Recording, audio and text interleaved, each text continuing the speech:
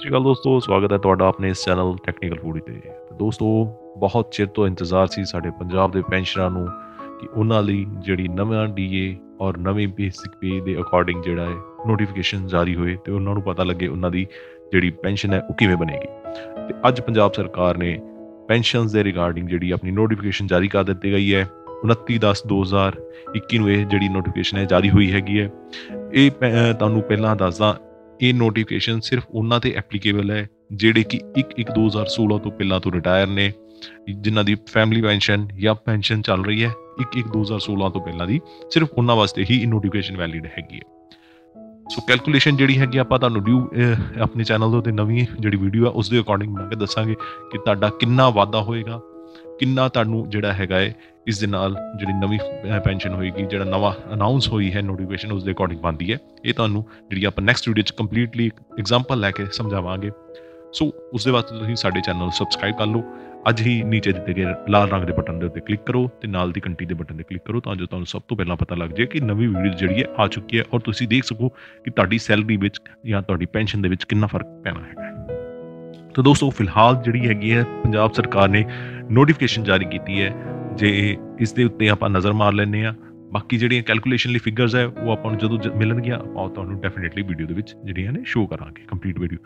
ਤੇ ਇਹ ਜਿੱਦਾਂ ਮੈਂ ਤੁਹਾਨੂੰ ਦੱਸਿਆ ਹੈਗਾ ਨੋਟੀਫਿਕੇਸ਼ਨ ਜਿਹੜੀ ਹੈਗੀ ਹੈ 1 1 2016 ਤੋਂ ਪਹਿਲਾਂ ਦੇ ਜਿਹੜੇ EMPLOYEES ਸੀਗੇ, ਉਹਨਾਂ ਵਾਸਤੇ ਜਿਹੜੀ ਹੈ, ਇਹ ਐਪਲੀਕੇਬਲ ਹੈਗੀ ਹੈ। ਜਿਨ੍ਹਾਂ ਦੀ ਪੈਨਸ਼ਨ ਚੱਲ ਰਹੀ ਹੈ ਜਾਂ ਫੈਮਿਲੀ ਪੈਨਸ਼ਨ ਚੱਲ ਰਹੀ ਹੈ, ਸਿਰਫ ਉਹਨਾਂ ਵਾਸਤੇ ਹੀ ਇਹ ਜਿਹੜੀ ਨੋਟੀਫਿਕੇਸ਼ਨ ਹੈ, ਉਹਨਾਂ ਵਾਸਤੇ ਜਾਰੀ ਕੀਤੀ ਗਈ ਹੈਗੀ ਹੈ। ਤੇ ਇਸ ਨੋਟੀਫਿਕੇਸ਼ਨ ਦੇ ਜਿਹੜੇ ਮੇਨ ਮੇਨ ਪੁਆਇੰਟ ਹੈ, ਮੈਂ ਉਹ ਤੁਹਾਡੇ ਨਾਲ ਡਿਸਕਸ ਕਰ ਲੈਣਾ ਉਹ ਤੋਂ ਤੁਹਾਨੂੰ ਕਲੀਅਰ ਹੋ ਜਾਏਗਾ ਕਿ ਜਿਹੜਾ ਆਪਣੀ ਨੋਟੀਫਿਕੇਸ਼ਨ ਜਾਰੀ ਹੋਇਆ, ਉਹਦੇ ਵਿੱਚ ਕੀ ਕੀ ਹੈਗਾ ਸੋ ਇਸ ਦੇ ਵਿੱਚ ਜਿਹੜਾ ਦੱਸਿਆ ਗਿਆ ਹੈ ਮੇਨ ਪੁਆਇੰਟ ਜਿਹੜੇ ਦੱਸੇ ਗਏ ਨੇ, ਉਹ ਦੱਸਿਆ ਗਿਆ ਹੈ ਕਿ 31 12 2015 ਤੱਕ ਜਿੰਨੇ ਵੀ ਆਪਣੇ EMPLOYEES ਜਿਹੜੇ ਨੇ ਰਿਟਾਇਰ ਹੋਏ ਨੇ, ਉਹਨਾਂ ਵਾਸਤੇ ਹੀ ਇਹ ਜਿਹੜੀ ਹੈਗੀ ਹੈ ਨੋਟੀਫਿਕੇਸ਼ਨ ਵੈਲਿਡ ਹੋ ਰਹੀ ਹੈ। ਜਿਵੇਂ ਮੈਂ ਤੁਹਾਨੂੰ ਪਹਿਲਾਂ ਦੱਸ ਚੁੱਕਾ ਹਾਂ ਆਪਣੀ ਗੱਲ ਦੇ ਵਿੱਚ।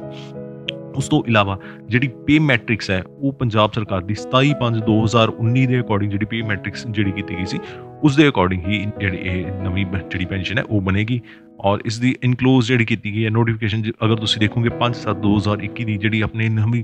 ਪੇ ਕਮਿਸ਼ਨ ਦੀ ਨੋਟੀਫਿਕੇਸ਼ਨ ਹੋਈ ਹੈ ਉਸ ਦੇ ਨਾਲ ਵੀ ਇਹ ਪੇ ਮੈਟ੍ਰਿਕਸ ਅਟੈਚ ਕੀਤੀ ਗਈ ਹੈਗੀ ਹੈ। ਸੋ ਉਸ ਦੇ ਅਕੋਰਡਿੰਗ ਹੀ ਜਿਹੜੇ ਨਵੇਂ ਗ੍ਰੇਡ ਬਣੇ ਨੇ, ਨਵੇਂ ਜਿਹੜਾ ਆਪਣੇ ਸਕੇਲਸ ਬਣੇ ਨੇ ਉਸ ਦੇ ਅਕੋਰਡਿੰਗ ਜਿਹੜੀ ਹੈਗੀ ਹੈ, ਸਾਡੀ ਇਹ ਪੈਨਸ਼ਨ ਜਿਹੜੀ ਹੈ ਰਿਵਾਈਜ਼ ਹੋਏਗੀ। ਉਸ ਦੇ ਅਕੋਰਡਿੰਗ ਹੀ ਸਾਨੂੰ ਇਹ ਪੈਨਸ਼ਨ ਜਿਹੜੀ ਆ ਸਾਨੂੰ ਬੈਨੀਫਿਟ ਮਿਲੇਗਾ।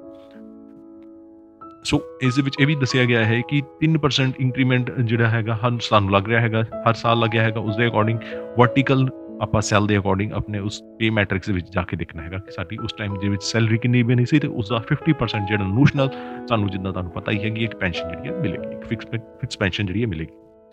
ਸੋ ਆਓ ਦੋਸਤੋ, ਇਸ ਦੇ ਵਿੱਚ ਫੈਕਟਰ ਦਿਨ ਦੇਖ ਲੈਂਦੇ ਆ ਕਿ ਐਗਜ਼ਿਸਟਿੰਗ ਪੈਨਸ਼ਨ ਜਿਹੜੀ ਸਾਡੀ 31 12 2015 ਨੂੰ ਹੋਏਗੀ, ਜਿਹੜੀ ਬੇਸਿਕ ਪੈਨਸ਼ਨ ਹੋਏਗੀ, ਉਹ ਜੋ 31 12 2015 ਨੂੰ ਹੋਏਗੀ ਉਸ ਦੇ ਉੱਤੇ 113% ਡੀਏ ਜਿਹੜਾ ਲੱਗੇਗਾ, ਉਹ ਹੈਗਾ ਹੈ ਔਰ 15% ਉਸ ਦੇ ਉੱਤੇ ਇੰਕਰੀਮੈਂਟ ਲੱਗੇਗਾ। ਜਿਵੇਂ ਤੁਹਾਨੂੰ ਪਤਾ ਹੈ, ਪੰਜਾਬ ਸਰਕਾਰ ਨੇ ਅਨਾਉਂਸ ਕੀਤਾ ਸੀਗਾ ਕਿ 15% ਇੰਕਰੀਮੈਂਟ ਦਿੱਤਾ ਜਾਵੇਗਾ, ਜਿੰਨੀ ਸਾਡੀ ਬੇਸਿਕ ਹੈਗੀ ਹੈ ਉਸ ਦੇ ਉੱਤੇ 113% ਡੀਏ ਜਿਹੜਾ ਹੈ ਲਗਾ ਕੇ।